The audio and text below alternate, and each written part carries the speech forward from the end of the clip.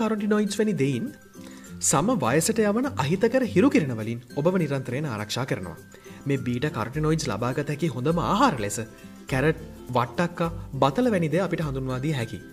බොහෝ එලවලුවල විටමින් සී අඩංගුවෙන බව ඔබ දන්නවා. ඒවා කොලජන්නම් ප්‍රෝටීන් නිෂ්පාදනයට වැදගත්වන අතරම ශක්තිමත් ප්‍රතිඔක්සිකාරකයක් ලෙසද හඳුනාගන්න පුළුවන්. එක පර්ේෂණ අධ්‍යනයකදී ඒ සඳහා යොදාගත් මිනිසුන්ට එලවලුවල ඇති මිලිග්‍රෑම් එකසි අසුවක විටමින් ප්‍රමාණයක් දිනපතා සති හතරක් තිස්සේ ලබාදී තිබුණා.